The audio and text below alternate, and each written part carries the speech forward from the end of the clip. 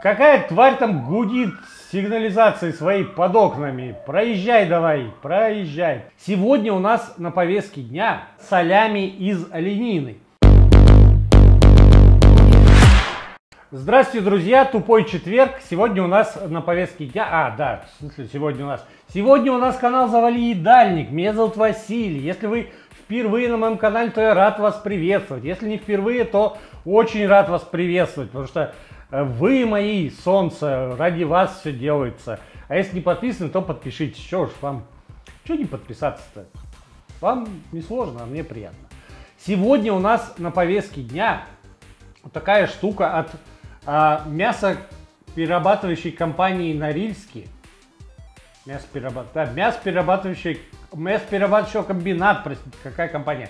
Норильский. Это солями из оленины. Ну, вообще солями как бы финская колбаса, насколько я помню. Финская? Финская ли? А может итальянская? В общем, если она итальянская, то это странно, а если финская, то оленина здесь вполне, вполне себе. Кстати, пахнет очень копченым. В составе, в составе у нас, значит, оленина, шпик свиной, какой-то подсолнечный подсолнечная смесь. А, посолочная, не подсолнечная, посолочная смесь. Соль, вода, специи, всякие дела. Короче, чистейший продукт. Почему, кстати, шпик свиной, а не оленьи? Какая тварь там гудит сигнализацией своей под окнами? Проезжай давай, проезжай, проезжай. Ладно, будем считать, что мы записываем в, экстренной, в экстремальной ситуации.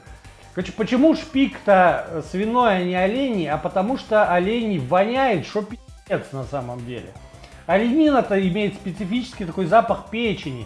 А уж сало оленя это очень специфический продукт. Кстати, стоит такая колбаса, это я сам покупал. 768 рублей 11 копеек. То есть не дешевая хрень-то на самом деле. Давайте разрежем, посмотрим, что внутри. Внутри вот такая вот колбаса. Вполне себе презентабельно выглядящая, вкусно пахнущая.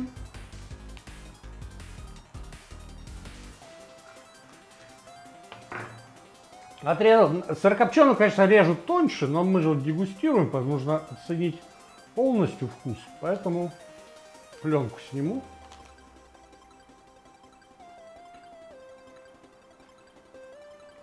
Это так как я прожил последние два месяца в Норильске, то из оленины состою на две трети примерно.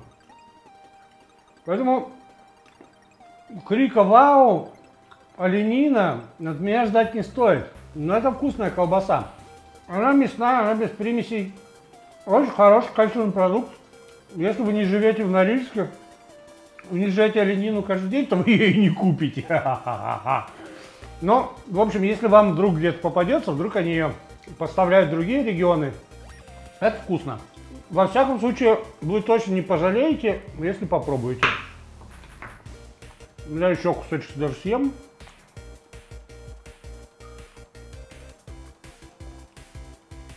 Но олень чувствуется. Чувствуется, что это не говядина, не свинина, что это именно олень. Для меня главный минус оленины в том, что она суховата. Но тут как раз шпик компенсирует, и она не такая вот прям жирная, как бывает обычная колбаса сырокопченая. И прям сало чувствуется. Но она балансирует хорошо. В общем, вот такая колбаска сегодня была. Каждую неделю мы ищем что-нибудь интересное на тупой четверг. Иногда находим очень интересное, иногда получается что-то менее интересное. А, что, как решать вам. Подписывайтесь еще раз на канал, ставьте лайки.